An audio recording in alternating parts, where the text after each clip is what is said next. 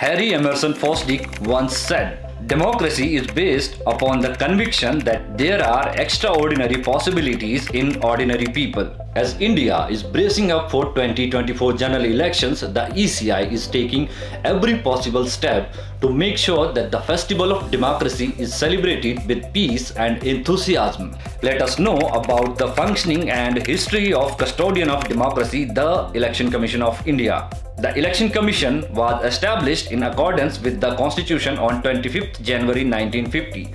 Sukumar Sen was the first Chief Election Commissioner of India, serving from 21st March 1950 to 19th December 1958. In 1950, the Commission only had one Chief Election Commissioner. Two additional commissioners were appointed to the Commission for the first time on 1989, but they had a very short tenure, ending on January 1990. The Election Commissioners Amendment Act 1989 was adopted on 1st January 1990, which turned the Commission into a multi-member body. A three-member commission has been in operation since then, and the decision by the Commission are made by a majority vote. The Election Commission operates under the constitutional provisions outlined in Article 324 to 329 of the Indian Constitution.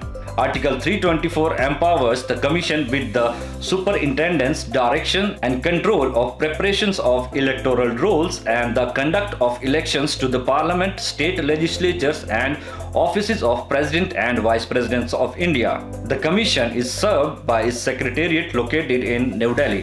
The election commissioners are assisted by deputy election commissioners who are generally IAS officers.